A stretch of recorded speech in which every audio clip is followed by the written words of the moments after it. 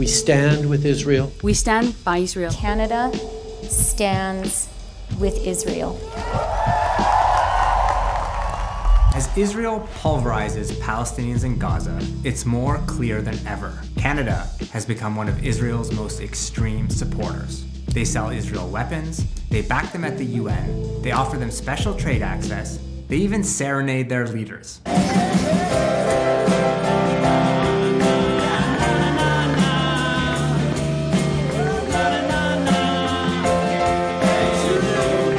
Someone obviously didn't tell Stephen Harper what Jude means in German. So what explains this relationship? The relationship between Israel and Canada are more than friendship. Okay, right. I like it. That's right. In 2005, Liberal Prime Minister Paul Martin put it this way Israel's values are Canada's values. They are indeed the values of settler colonial states. Both cleared the land of indigenous peoples to make room for settlers. Both impose and entrench that land theft with police or military violence.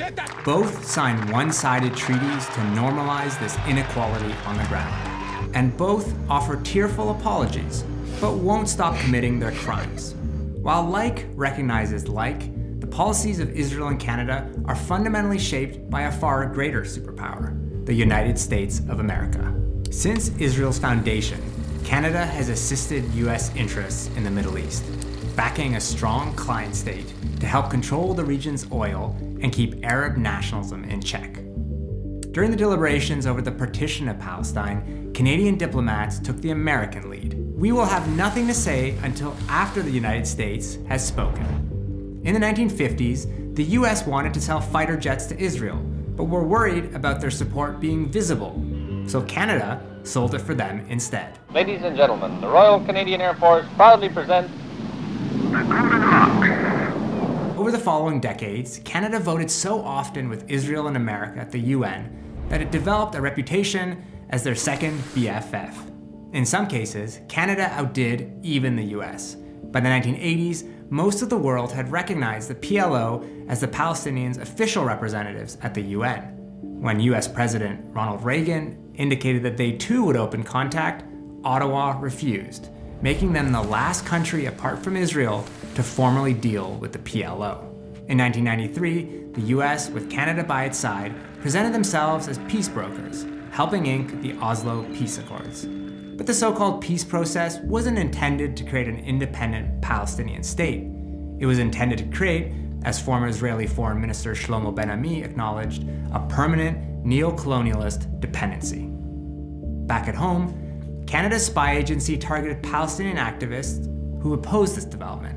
Canada began pouring tens of millions into a corrupt Palestinian authority who managed the occupation on Israel's behalf. With Canadian and US backing, a Palestinian security force more accountable to Israel than its own people would soon crack down on dissent. They also inked a free trade agreement that recognized Palestinian territory as de facto part of Israel, billions in trade ensued. Canadian companies built the Israeli Air Force's communication system and components for bombers and helicopters, unmanned drones and maritime patrol aircraft, surveillance systems, and body armor. They've even helped build the highways used by Israeli settlers that are off limits to Palestinians, creating what Israeli human rights group B'Tselem calls a regime of apartheid. Under conservative Prime Minister Stephen Harper, Canada started outdoing the US once again in their extreme support for Israel. Given a warm welcome at the Knesset, even given the key to Israel's parliament. And when Palestinians in Gaza voted for Hamas in fair and free elections in 2006, Canada became the first country in the world to cut off aid to the Palestinian Authority, to teach them a lesson for doing democracy the wrong way. Canada's votes at the UN by this point were so one-sided that even government officials complained in private. Voting against the majority of these resolutions, while welcomed by Israel and the US, has been perceived as unbalanced by the Palestinians, the Arab nations, and the G77 plus China.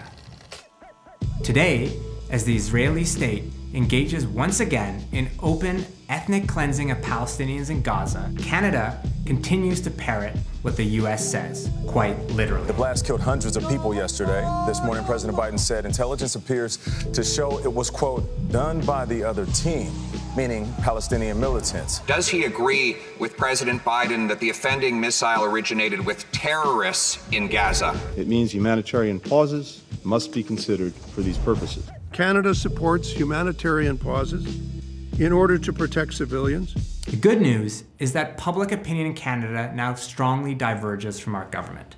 Three out of four Canadians want Canada to oppose the Israeli annexation of Palestinian land, and nearly half want Canada to impose economic or diplomatic sanctions against Israel.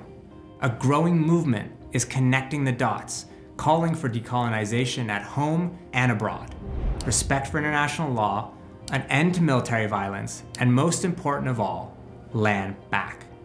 That would break Canada free of the US empire and help achieve justice and peace for all.